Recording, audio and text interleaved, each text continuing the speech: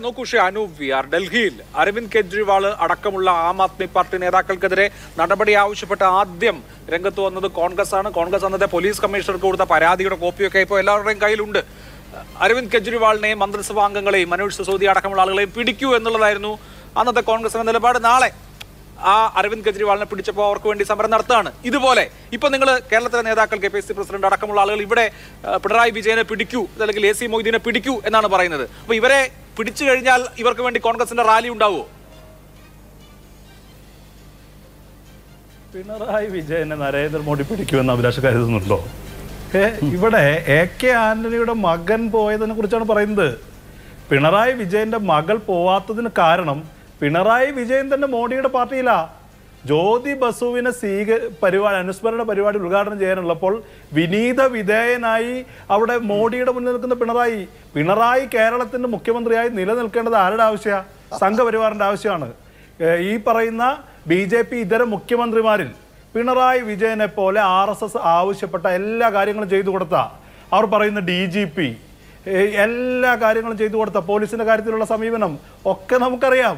പിന്നെ ഇദ്ദേഹം ഈ പറയുന്ന കോൺഗ്രസിന്റെ കാര്യത്തിൽ കോൺഗ്രസിന് വളരെ വ്യക്തമായ നിലപാടുണ്ട്. കേര സംഘപരിവാർ കേര കേന്ദ്രത്തിൽ ഈ കോൺഗ്രസിനെയാണ് ടാർഗറ്റ് ചെയ്യുക ഈ സി പി എമ്മിനെ അല്ല എന്ന് മനസ്സിലാക്കാൻ സാമാന്യ ബുദ്ധി മാത്രം മതി.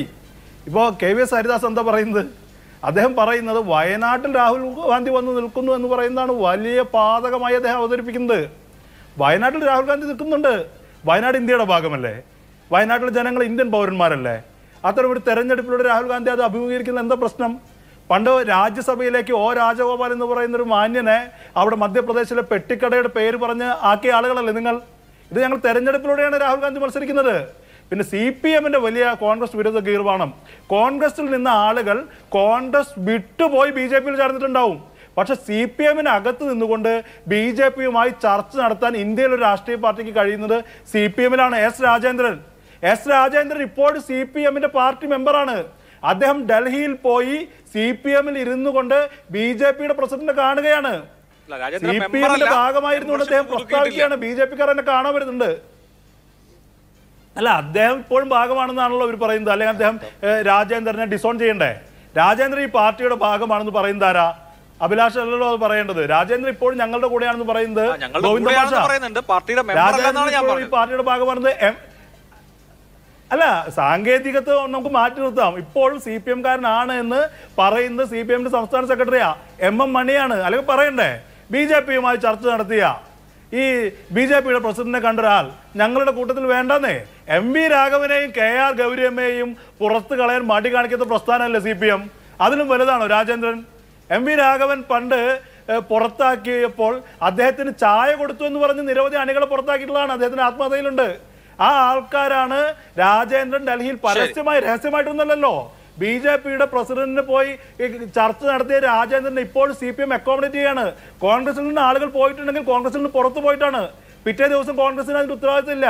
പക്ഷേ C P M C P എംകാരെന്ന് പറയുന്ന ആളുകൾ ഇപ്പോഴും ചർച്ച നടത്തിക്കൊണ്ടിരിക്കുകയാണ്. ഇനി ഇവിടുത്തെ അദ്ദേഹത്തിന് സി പി എമ്മിന്റെ ഭാഗമായി നിന്നുകൊണ്ട് ആർ എസ് എസിന്റെ അക്ഷരം സ്വീകരിച്ച ആളുകളുടെ ലിസ്റ്റ് വേണോ? ഞാൻ തരാം. ഇടുക്കി ജില്ലാ സെക്രട്ടറിയായ കെ അനന്തഗോപൻ ആർ എസ് എസിന്റെ അക്ഷരം സ്വീകരിച്ചു. ആർ എസ് എസ് ശൈലജ ടീച്ചറുടെ വടകരയിലെ ശൈലജ ടീച്ചറുടെ ഭർത്താവില്ലേ? മേയറായിരുന്ന ഭാസ്കർ മാസ്റ്റർ മുനിസിപ്പൽ ചെയർമാനായിരുന്ന അദ്ദേഹം സ്വീകരിച്ചു. അപ്പോൾ സി പി എമ്മിന്റെ സംഘപരിവാർ വിരുദ്ധതയെ കുറിച്ചൊന്നും വലിയ സ്റ്റഡി ക്ലാസ് എടുക്കണ്ട. ഞങ്ങളുടെ കൂടുതൽ ആളുകൾ പെട്ടെന്ന്